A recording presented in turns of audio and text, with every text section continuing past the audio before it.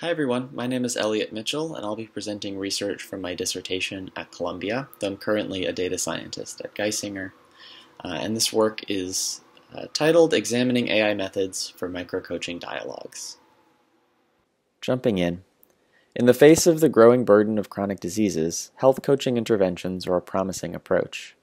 Conversational interaction, for example through chatbots, is one particularly well-suited approach to designing health coaching interventions. There have been recent advances in conversational AI driven by advancing NLP methods and openly available corpora to produce uh, more dynamic and flexible chatbots. Until recently, though, chatbots in health have been predominantly scripted or rule-based, which, while potentially effective, can be limited and result in a repetitive user experience. There are open questions in pursuing more advanced approaches in health, as well as a lack of openly available corpora. Taking a look at common architectures for chatbots, many approaches separate components for natural language understanding, parsing and understanding the user's utterance, from dialogue management, which is determining how the system should respond to natural language generation, which is actually constructing that natural language response. Dialogue management is the focus of this work, particularly rule-based or data-driven approaches. For example, with data-driven, uh, with reinforcement learning, where responses are selected to optimize uh, the overall effectiveness or flow of the conversation over time, learning from examples. So with that background out of the way, I'll next talk about the focus area for this research, which is in health coaching. I'll then overview the four chatbots with different approaches to dialogue management being compared in the research, followed by the evaluation methods and results, and a brief discussion. So taking a look at how health coaching typically unfolds, there's an initial coaching session, uh, followed by the client working on their own, and then a potential follow-up session. Now in this interim time, the client may have questions about how to achieve their goals. And so in prior work, we argued that this uh, represents a potential opportunity for automated approaches to coaching through chatbots to offer in-the-moment feedback and advice, potentially multiple times throughout the day. And we call this idea micro-coaching, and here's a bit of an overview of how it might look in the context of nutrition goals. Based on some initial description of a planned meal, the micro-coach would need to ask follow-up questions to determine whether or not the meal meets a goal, to then offer positive reinforcement or offer suggestions to further refine the plan.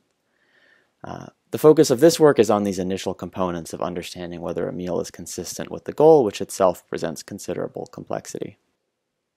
As a bit of a prelude, and this is all covered in more detail in the paper, uh, we engaged health coaches to learn what are the kinds of questions that might uh, be appropriate to ask in these kind of micro-coaching scenarios, which are shown here uh, as a relatively limited set of question types.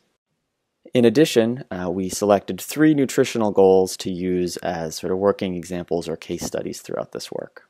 Now let's talk about the four uh, different chatbots. So first, is the scripted approach, and this is the simplest thing you could possibly do. For each goal, always ask the same questions in the same order. The other systems incorporate some level of intelligence through natural language understanding with a system we designed called Food NLU. Returning to this overview of chatbot architecture, we designed Food NLU to process user utterances and generate a set of possible responses. More details on the system and evaluation are in the paper, but the key point is that it produces a computational representation of the meal and a discrete set of follow-up questions, so dialogue management can then choose the next appropriate action. So looking at the first example here, rule-based, this uses if-then logic based on the presence of certain foods that are related to a goal based on the attributes identified by food NLU. The second approach uh, is data-driven, uh, in this case through reinforcement learning and specifically Q-learning to estimate the potential value of asking a question in a given state. And so to give some intuition for how this works, on the left uh, is a sort of a common game scenario where you might see reinforcement learning. You're trying to get to the star with the shortest path. In micro-coaching, uh, through dialogue, we're trying to get to to the answer about whether somebody meets their goal with the shortest dialogue possible. And so the state is uh, not where we are in the grid world, but it's sort of what do we know about the meal. And the actions are not moving through the grid world, but they're asking different kinds of follow-up questions that we learned from, from the health coaches. So this is sort of the intuition here. Uh, more details on the setup and evaluation of Q-learning are also in the paper, but in general, we created a corpus for learning uh, through crowdsourcing of 300 total dialogues, which we've also made openly available uh, open source on GitHub. We uh, did a validation experiment with simulated and also that crowdsourced data and found that reinforcement learning did result in shorter dialogues and also that it learns a logical next action when there's situations where you know, there's sort of a clear-cut thing that you'd think it should be doing. So that's reinforcement learning. The last chatbot here is a control condition where uh, it's just randomly choosing from the possible follow-up questions. So we would hope that this performs, performs worst. Uh, now jumping into the evaluation methods and results. Uh, we wanted to compare uh, these different approaches to dialogue management in the chatbots in terms of the length of conversations they produced, as well as their perceived quality in terms of the strategy employed by the coach, how natural the conversations felt, and how coherent the coach's responses were, as well as the perceived user experience. And so to do this, uh, we crowdsourced additional dialogues for unseen meals, and showed them to other crowd workers uh, to evaluate these dialogues in pairwise comparisons for each of those questions. Looking at the results, we found that uh, reinforcement learning did indeed result in uh, significantly shorter conversations than the other conditions, so that was its intention in that. Examining the quality of conversations, the results were somewhat mixed. Surprisingly, the scripted dialogues, which were sort of the simplest, least intelligent approach, performed pretty well on these quality ratings, including strategy. But there's an important caveat that because there was no intelligence involved, they didn't always collect uh, the necessary information to proceed with the following steps of microcoaching, so there's some trade-offs there. Uh, and performance varied by conditions where sometimes reinforcement learning did uh, seem to, to win out in these, in these pairwise comparisons.